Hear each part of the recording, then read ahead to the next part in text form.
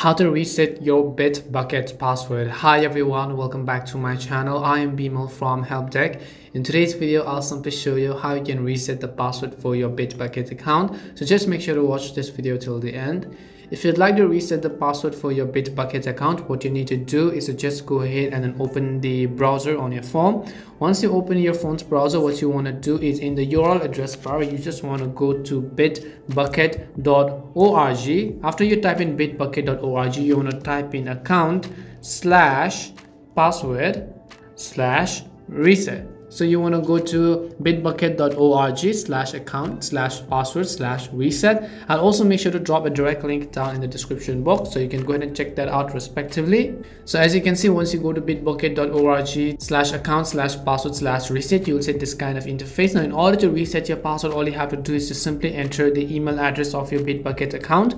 Once you enter the email address of your Atlassian Bitbucket account, then you can tap on the send reset email. You have to make sure you have access to this email because it will send a verification link. After you tap on that link it will take you to a page where you can simply enter your new password without having to remember your old password. And that's all it takes to reset your bitbucket's password. We hope the video was really helpful. And if it did help you then make sure to leave a like and subscribe to our channel. If you have got any more questions feel free to leave them down. Thank you very much for watching and see you soon in our next video